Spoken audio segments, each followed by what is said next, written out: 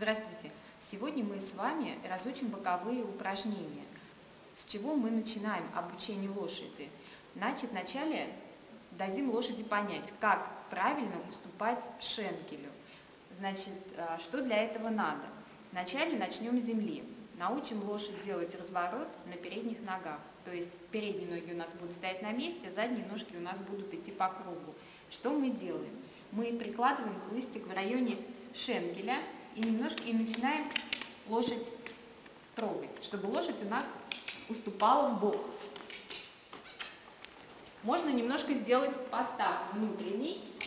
Хорошо, молодец. Чтобы лошадка у нас... Ай, похвалили лошадь. Сделали таких 5-6 шагов, похвалили лошадь. Еще раз в эту же сторону, в правую.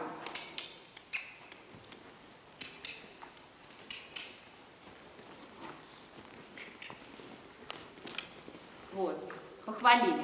То же самое делаем в левую сторону. Делаем немножко левый постав и хлыстиком вместо, где шенкель у нас располагается, немножечко ее просим уступать шенкель. Вот, похвалили лошадь. С земли мы с вами сделали, сейчас мы это сделаем верхом. Того, как мы с вами сделали уступку шенкелю на месте с земли, теперь мы с вами сделаем уступку шенкелю верхом.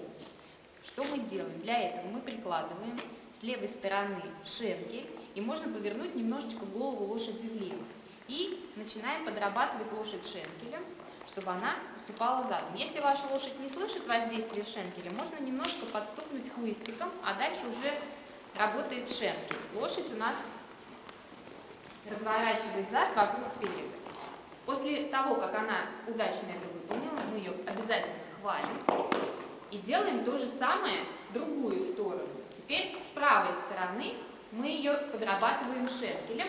Можно сделать немножко правый постав и также лошадь уступает шенкелю. После удачного выполнения мы также хвалим лошадь. Следующее упражнение – мы делаем уступку шенкеля на шагу по кругу.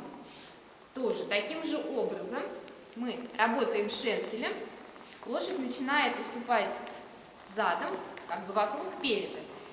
Мы идем по, по кругу, передние ножки у нее описывают круг маленького диаметра, а задние ножки описывают большой диаметр. Лошадь сгибается у нас в боку, подводит под себя задние ноги. Это упражнение очень хорошо для того, чтобы лошадь чувствовала шеркель и развивала гибкость лошади, и также э, включались э, работы задних ног и скакательных суставов.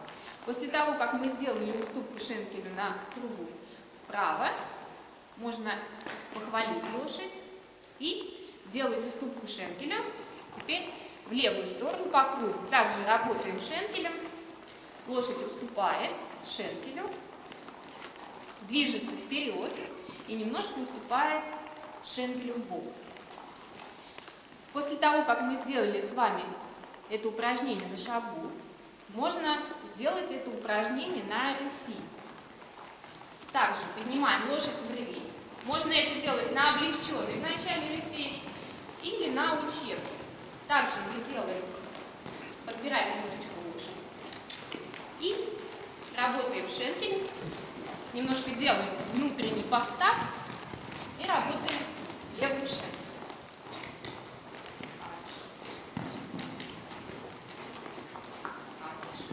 После того, как лошадь вам уступила, разворачиваемся в другую сторону и делаем то же самое вправо, от правого шенкеля.